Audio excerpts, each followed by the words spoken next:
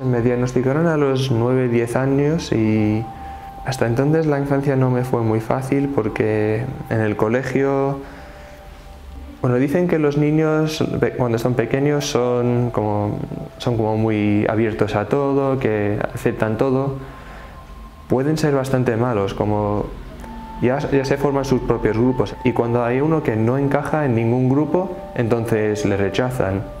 Y yo siempre fui ese.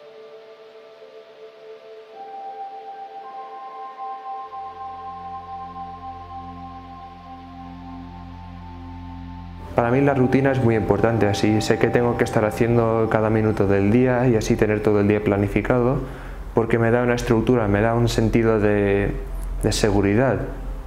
Pero cuando sacas ese ritmo y me lo cambias de golpe, es muy difícil y, me quedo perdido. El teatro me ayudó mucho, porque para mí el teatro es como... es un mundo dentro dentro de un mundo, porque ya tienes el guion, ya sabes cómo va a ser el mundo, y cómo va a ser la obra, sabes quién va a decir qué cosa, cuándo lo va a decir, qué es el contexto. Y eso es lo que necesito para la vida real.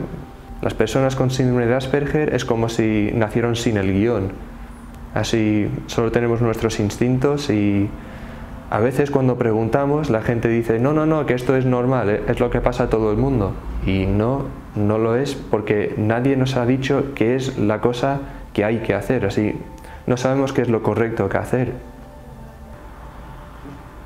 Para mí es muy difícil captar las emociones en los demás y también en, mí mismo. Como hay cosas muy básicas como si alguien está sonriendo, entonces sabes que está feliz.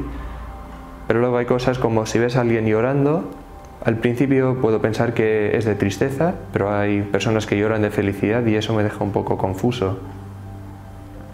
Somos también muy literales, como yo no capto un chiste, al menos que me dices, te voy a contar un chiste. Mientras que he memorizado un libro de chistes enteros y el humor para mí es la manera de comunicarme con los demás. Pero prefiero que, y también creo que es lo mismo para personas con síndrome de Asperger, es como incluso a través de nuestras peculiaridades que nos respeten como las personas que somos, que no somos tan distintos, que no somos alienígenas, que somos seres humanos también, que lo único que nos separa es que el cerebro se nos está, nos está arreglado de una forma un poco diferente al, al de los demás.